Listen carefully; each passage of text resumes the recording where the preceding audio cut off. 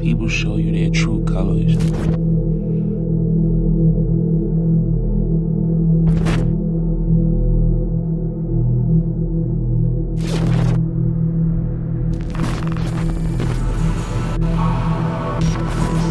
Through experiences, through own faults, through up and downs, through smiles, through cries,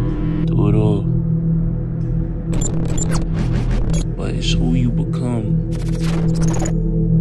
in the midst of these things that defines who you are. It's all decision. There's no looking back from here.